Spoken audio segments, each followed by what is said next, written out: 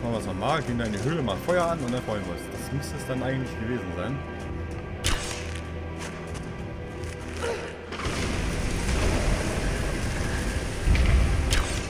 Hoffe ich.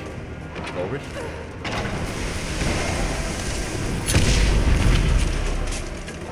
Und die Tür ist auf. Hat geklappt. Ja, siehst du, geht doch.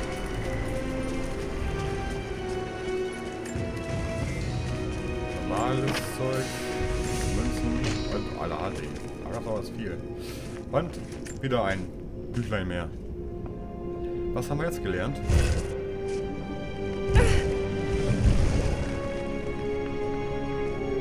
Ein Kodex. Oh mein Gott, das... Das ist die Formel für griechisches Feuer. Grabräuber.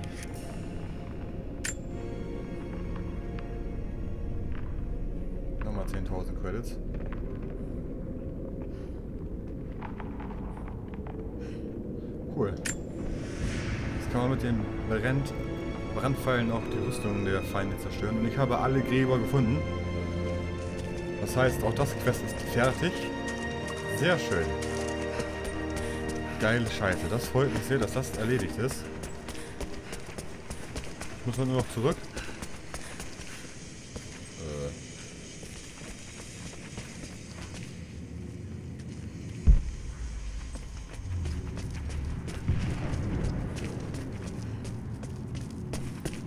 Natürlich auch so ein Ding.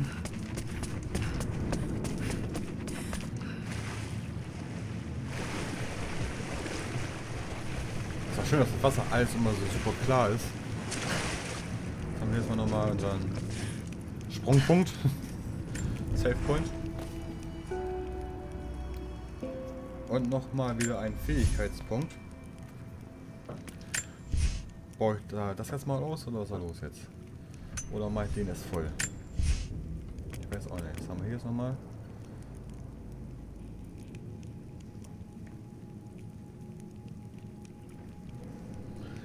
Hm.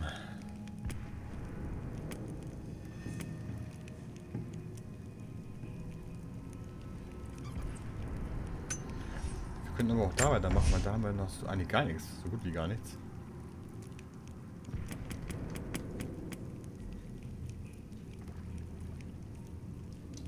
Nur das.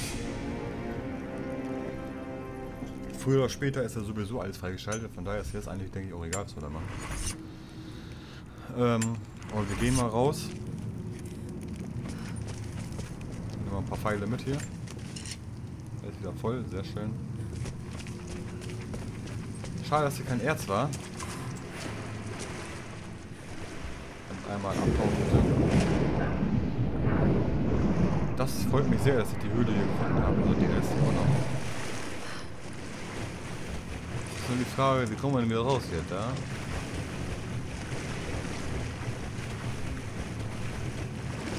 Und dann... Da, raus da. Hopp. Einmal nach oben bitte. Richtung Ausgang. Jetzt haben wir den Bär erledigt. Wir haben das letzte Grab gefunden. Das gespeichert, warum auch immer.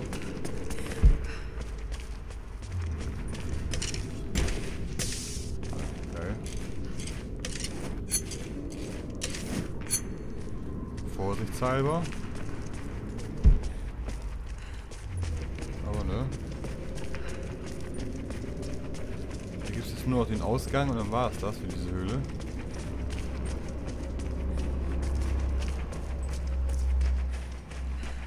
Glaube ich zumindest. Ja, hier ist auch nichts. Wo kriegt man das, das blöde Erz her? Muss doch in irgendeiner Höhle sein, oder nicht? So, da sind wir wieder draußen. Da gibt es halt nur die Wildschweine. Hier hast du nochmal Krypto-Eingang. Da gibt es auch nur den einen. Herausforderungen gibt es hier vier. Dokumente haben wir acht. Wandgemälde drei. Gut, dann versuche ich mal dahin zu kommen, weil da müssen wir dann eh nach, nach da weiter dann. Und dann gucken wir mal, was wir da so machen können. Falls wir da lebend hinkommen, heißt das. Da ist es nochmal Pfeile.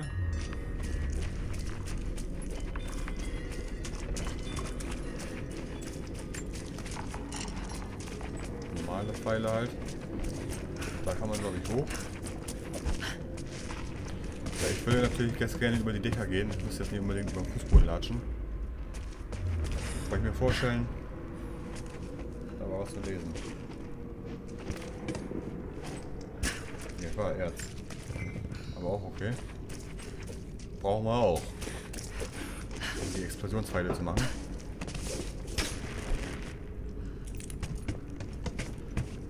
Und jetzt rennen wir mal zu diesen Kryptokrams. Weiß noch nicht ganz genau wie. So schon mal nicht.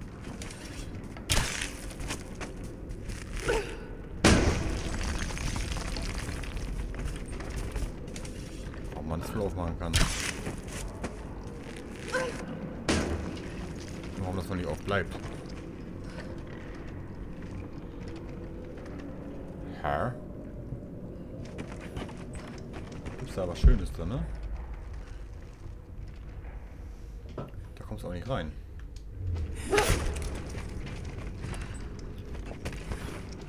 Da kommst du so nicht rein. Ist ja auch egal. Wir wollen jetzt erstmal zu diesem Kryptokram hin.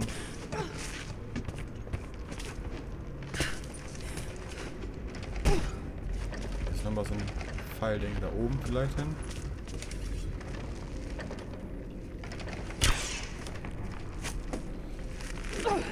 Da muss man von da oben hier runterschießen. Da kommt sie aber nicht ran. Dann auch ein Specs, ja. Funktioniert nicht. Okay. Einmal darüber. Zum Glück laufen die, die auch noch auf den Dächern rum hier, die ähm, Alarmglocken. Die sollte ich ausschalten. Das ist eine Idee.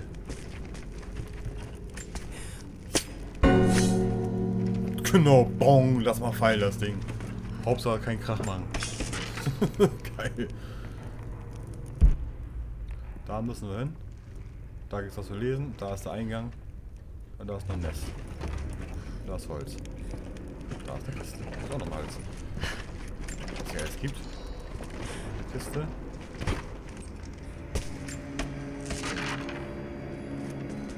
Und Münzen. Die ein bisschen komisch liegen.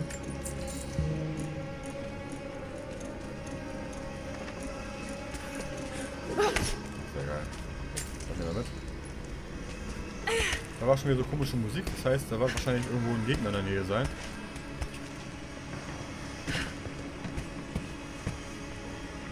Hab zwar jetzt gerade keinen gesehen, aber es muss ja nichts heißen. Das macht mich zumindest immer so ein bisschen nervös, wenn die Musik komisch wird. So, und das lesen. Da kannst du nochmal rein.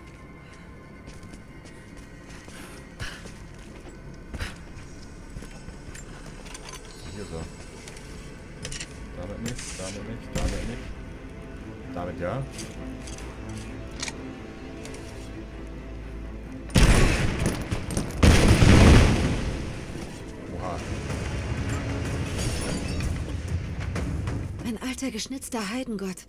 Vielleicht ein Fruchtbarkeitssymbol. Ist schon Jahrtausende alt. Aha.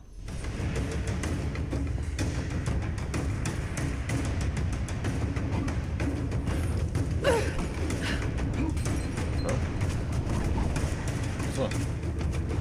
Auch okay. Okay, nicht okay. Wo ist er denn? Komm, ich hab auch so beim Bruder.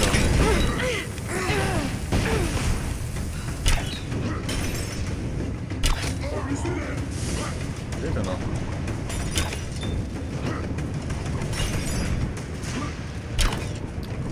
Ernsthaft jetzt?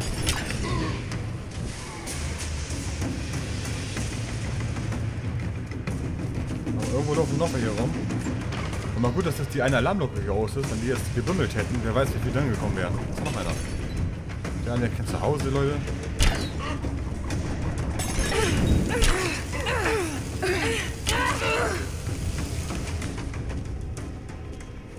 Jetzt ist wieder Ruhe.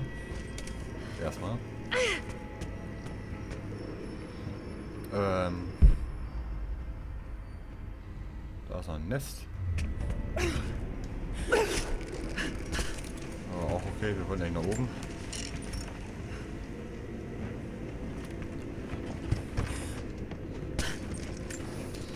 Was habt ihr denn Schönes? Da lagen noch mehr eben, oder? Lassen die alle was fallen, oder? Ja, scheinbar schon. Die verschwinden und lassen einfach nur ihr Päckchen liegen. Auch okay. Wo war jetzt dieser dämliche Eingang? Dieses Krypto-Ding. Da haben wir nochmal Holz und was zu lesen. Und Pfeile. Endlich konnte ich einen der unsterblichen Soldaten töten. Ich folgte ihm den ganzen Tag, bis er allein war. Er schien mich zu erspüren, bevor ich zuschlug, als ob er das Geräusch meines Bogens kannte. Er war stark, aber ich bin klug und mir hilft der Glaube. Meine Pfeile durchbohrten ihn, aber er kämpfte weiter, bis ich ihn zwischen die Augen traf. Selbst so konnte er mich verwunden, bevor ich ihm den Schädel einschlug. Hm. Sein Körper fing Feuer. Er zerfiel vor meinen Augen zu Asche. Es ist schon Stunden her, aber die Asche schwelt noch. Sie zischt und knackt in der Dunkelheit. Ich glaube nicht, dass dies sein Ende ist. Die Quelle hat große und schreckliche Macht über die, die sie berührt. Ich muss wissen, was jetzt passiert. Diese Ascheviecher hatte ich eben auch gehabt, Kumpel.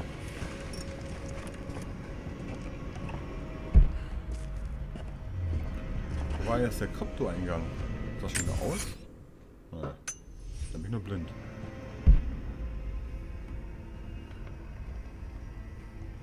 Da. Eine Etage tiefer wahrscheinlich.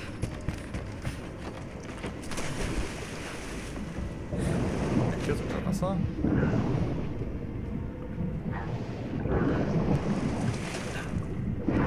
Okay.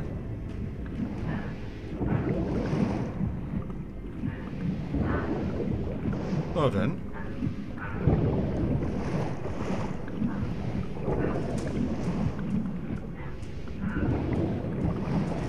Haben wir das zumindest auch gefunden. Hier gibt es noch Pilze und was zu lesen. Und einen Eingang natürlich. Valentinus, der Zeitmesser. Griechisch Level 6 sind wir schon.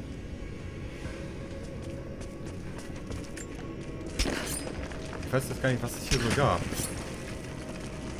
Irgendwelche schönen Dinge zumindest. Gibt es zumindest meist, wenn man solche versteckten Dinger nimmt. Das versteckt sind sie ja nun nicht, aber halt die hier. Da was zu lesen mal wieder. Als die Stadt erbaut war, betrachtete sie die erste Generation der Anhänger voller Staunen.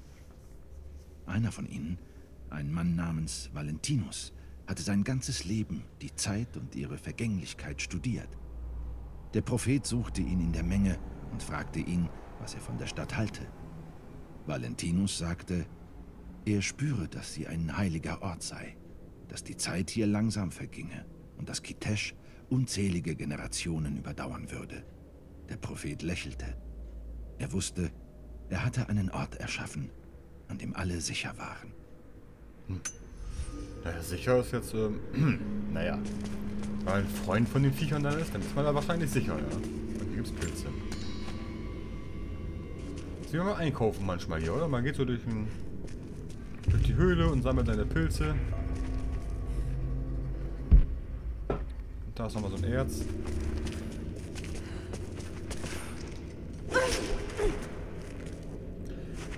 Ich finde das Laufen, also das Schnelllaufen auf Stick drücken, das ist echt sehr nervig. Ist aber auch wahrscheinlich wieder ein normales Erz nur. Und zweimal das. Das ist dann also doch mit da drin. Ne? Wie viel braucht ihr denn von dem Zeug? Scheiße, ihr seht das wieder nicht. Oder ging das jetzt, weil ich diese äh, äh, Erweiterung da gemacht habe im Menü eben? Hier, diese, diese, was es gab. Das kann natürlich sein, dass es erst dadurch ähm, dazu gekommen ist. Okay.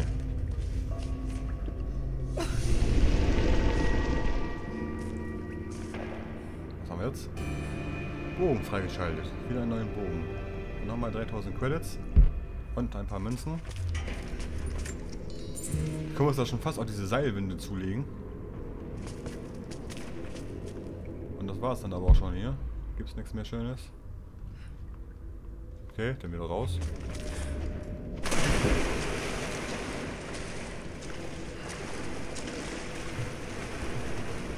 Immerhin etwas, na.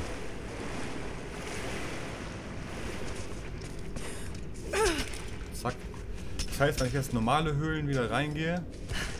Hier ist nochmal Erz. Mal gucken. Das ist jetzt nur normal, okay. Aber ich habe erst zwei. Ich weiß gerade gar nicht, wie viel ich dafür den, für den Bogen bräuchte. Da müsste ich mal zu so einem Basislager gehen und gucken. Aber ich brauche auch noch Federn. Davon mal weg.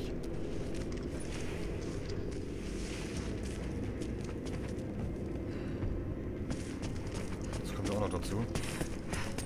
Zumindest haben wir diese Krypto-Geschichte auch erledigt. Ist auch schön.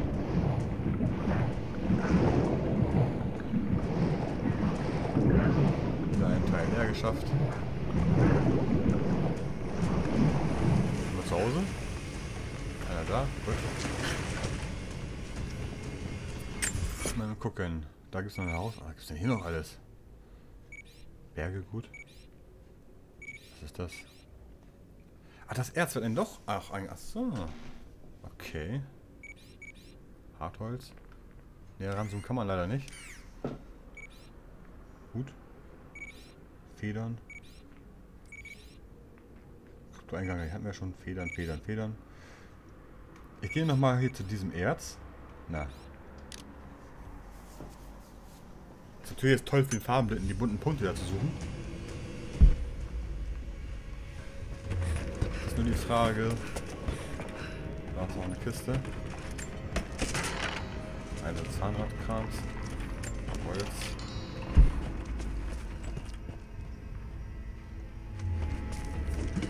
So, okay, das war's. Das ist echt nur das Normale. Wird einem denn das, ähm, das andere Tolle auch dann angezeigt? Das wäre natürlich geil. Würde ich sagen, oder? Also wir gehen jetzt mal Richtung da, wo wir. Die anderen Krams. Gut, hier gibt es noch ein paar Wildschweine, die man essen könnte. Hm. Verstecke, Münzverstecke gibt es ja auch drei angeblich. Da müsste es hier jetzt aber auch erstmal nochmal so einen so einen Graphen geben, den man lesen muss, damit das aufgedeckt wird. Und Herausforderung gibt es hier. Warte. Glocken abschneiden gibt es auch noch vier Stück. Vielleicht gucken wir mal, ähm, ob wir noch ein paar Glocken finden. Bevor wir jetzt dahin gehen. Wir können ja noch ein bisschen rumlaufen hier. Da. Nee.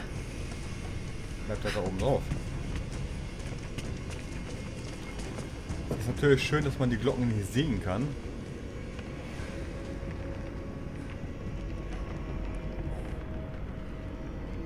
Vor allen Dingen... Gut, so riesig... Okay. Ist die Frage, sind die jetzt nur hier oder sind die auch überall hier? äh. Das ist die Frage jetzt. Egal, wir gehen jetzt da nochmal die Federn nehmen wir nochmal mit und dann gehen wir dahin, wo wir hin müssen. Da nochmal Federn dann. Hopp, wir jetzt unterwegs noch eine Glocke finden sollten, da kommen denn die Federn mit. Dann nehmen wir die halt auch mit, die Glocke. Das Dumme ist, man möchte natürlich nichts verpassen hier. An tollen Sachen. Eventuell tollen da noch Federn, glaube ich. Naja.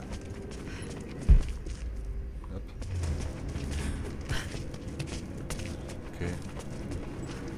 Ach, scheiß auf die Federn.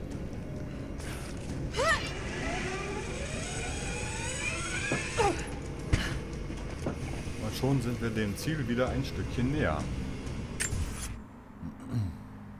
Einmal speichern. Haben wir auch schon lange nicht mehr selbst gemacht. 57 Prozent. Okidoki.